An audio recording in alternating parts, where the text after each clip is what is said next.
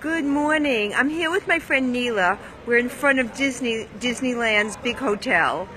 And Nilay's from Germany. So Neela, where are you from in Germany? I'm from Berlin. I'm a tech recruiter and career coach for software engineers. I'm here at the conference with my fr- friend Janet, and we're having an awesome time. It's a great adventure to see all the celebrities and uh, billionaires here. I know. So there's a lot of black oh, carrying American Express card people here. I'll tell you that much. All right. So we've like really been learning a lot, but the best thing that we've been learning is like making new friends. So, doesn't you? Isn't her glasses gorgeous? Thank you. Yeah, really, really gorgeous.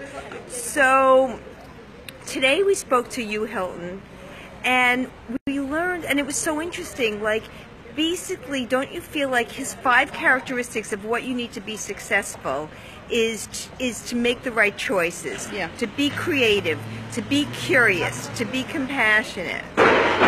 Whoa, there's a car Yeah. going crazy here. So, what I want to talk about right now is how do you keep your curiosity up? How do you keep your curiosity up? I mean, it's it's important to you know to know your why.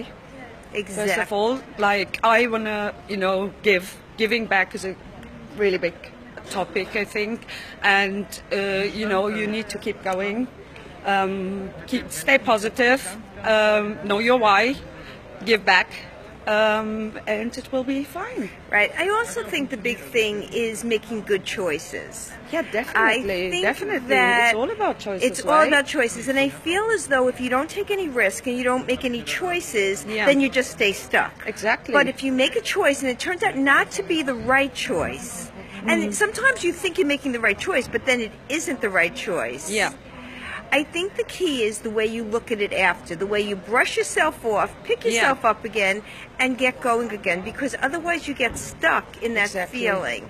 Let's just talk about creativity for a second. How do you stimulate your creativity Mm-hmm. when you just feel really tired or you just like you can't think of the next idea?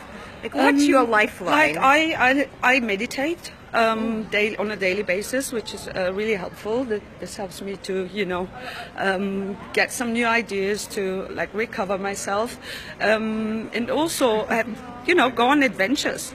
It helps. I travel a lot.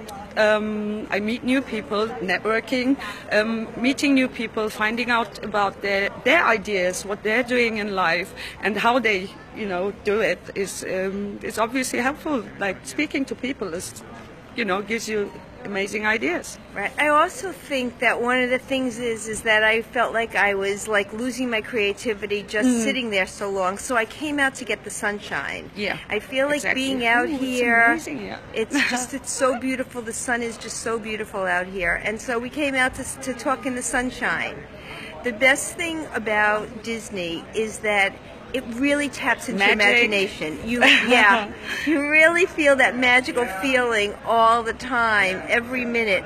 There are just all these little kids are dressed up with crowns, and all the little boys are dressed up as superheroes. So much fun in Disney. And now we're going to go get our cup of coffee, but we didn't want to miss our coffee time. Yeah. So we're going to go get our cup of coffee. Have a really great day, and I'll see you tomorrow. Have a great day and see you soon. Bye bye. Bye. Oh shoot, I did that wrong.